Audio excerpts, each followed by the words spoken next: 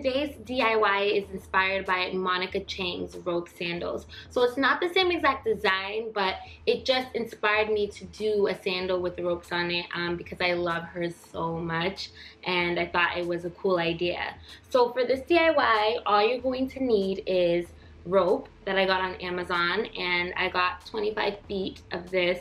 That's probably more than you need, but I wanted to get more than I needed because I like to have a little wiggle room in case, in case I mess up so I don't run out of material. And then you're gonna need black duct tape. If you do black, you could do any color, as always.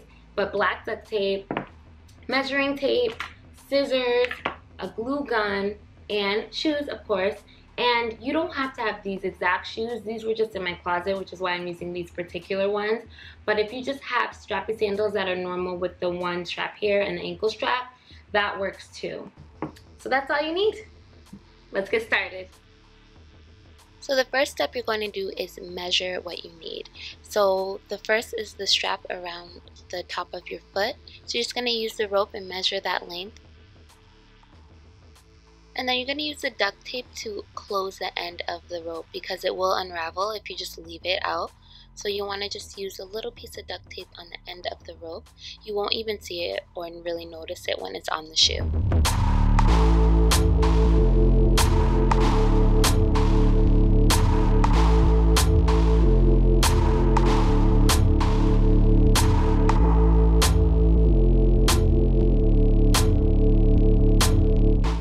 If you're using similar shoes, if you and you have a middle strap, you want to make sure to measure uh, from the inside around the strap to the other side of the shoe. If you don't have a middle strap, you can go ahead and skip this step.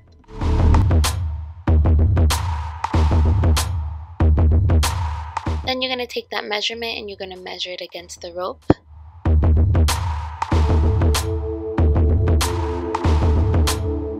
Then repeat the step with the duct tape.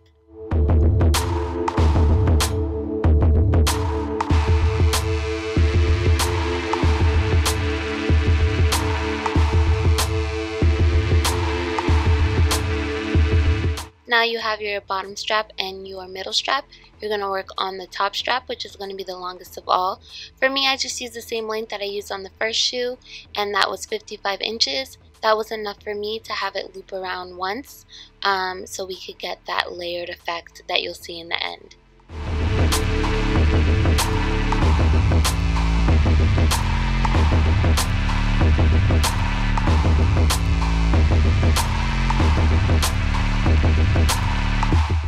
And the final step is to glue on the straps.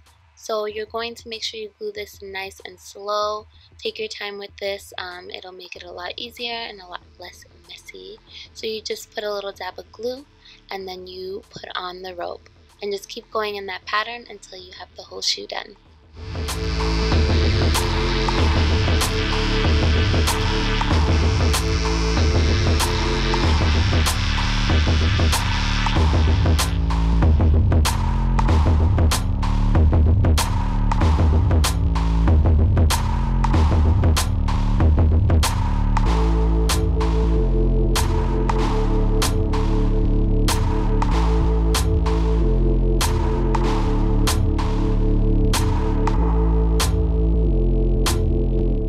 So as mentioned before, if you don't have a middle strap, you can skip this step. For me, the easiest way to do this was to glue it from the inside and then pull the rope around to the outside of the strap and glue it around the edge, around the outside, and then glue the other end on the inside of the shoe.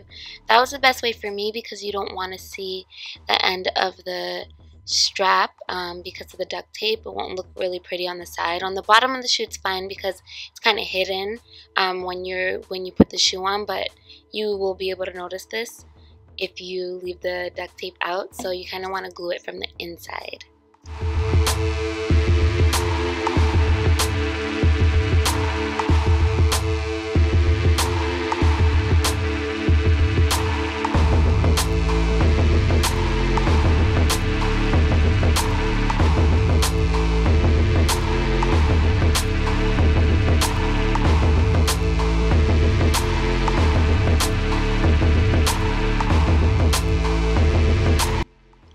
So there's a trick to gluing on the last strap to make sure that you get it right.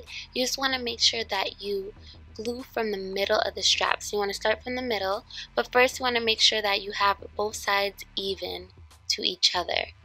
Once you make sure it's even, you want to start gluing from the middle out into the back of the shoe.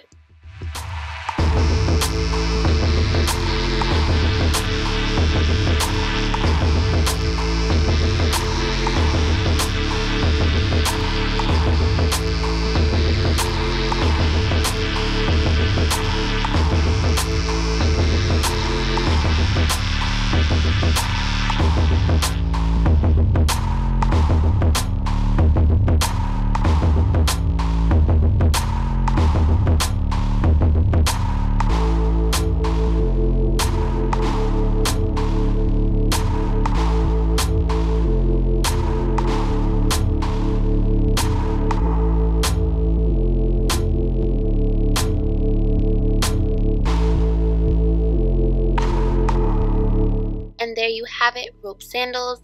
These are probably one of the most dramatic ones that I've created, but I really like how they came out. They're really fun and I'm excited to wear them out. If you like it, give it a thumbs up, share it with your friends, and don't forget to subscribe. And I'll see you guys next time.